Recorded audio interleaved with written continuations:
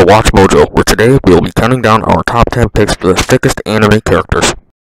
Number 1, the Big Boy statue. Even though the food there is complete shit, customers always go back for Big Boy scrumptious cheeks. Number 2, Amy Schumer for My 600 Pound Life. Her rolls of fat have men from all over the world wanting more. Number 3, Chris P. Nuts. This hunk of a man will keep you protected and give you the satisfaction that you need. Number 4, Biggie Smalls. Sadly died in a car crash but now resides in Cuba with Tupac and Extension. Number 5, Thanos. Quite possibly one of the thickest anime characters of all time. One finger snap is all it takes.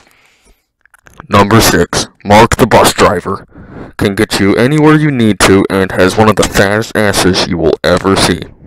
Number 7, Mahatma Gandhi. Used to be the thickest man alive, but then went anorexic and died.